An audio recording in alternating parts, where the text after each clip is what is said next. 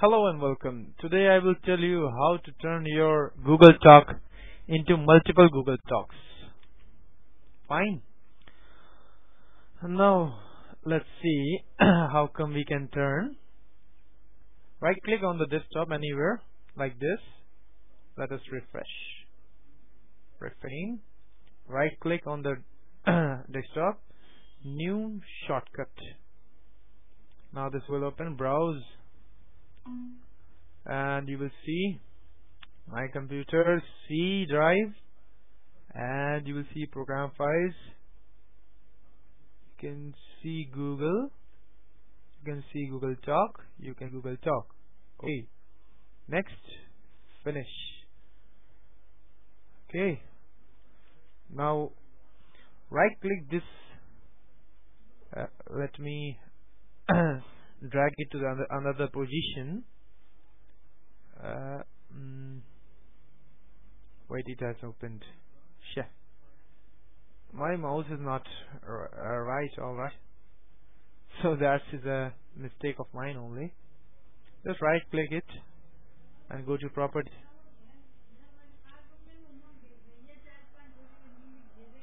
just give a space and this right no mutex. Apply. Okay. Open. Minimize. Again open. See two are there. See two. And the right uh, bottom you can see. And now just drag it. See? Two Similarly, similar, similarly, similarly to, similarly, you can uh, uh, you can see three. You can drag it. You can drag, uh, and similarly four. Similarly, thousands of Google Talks can be made. Let me tell you how come.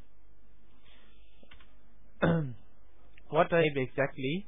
Let me copy and paste into this. Let me minimize it. Right click, properties. I typed, I typed hmm. I type this. See here is a space between no mutex and uh, this inverted comma is this slash where you can see the cursor. Uh, if you are not seeing this see after Google Talk exe inverted commas and then one space and then slash no mutex. This will change your Google Talk to multiple. You can log in with multiple Google Talks. Okay so see you bye you can exit one by one. Can hmm. close. Nothing to say. Bye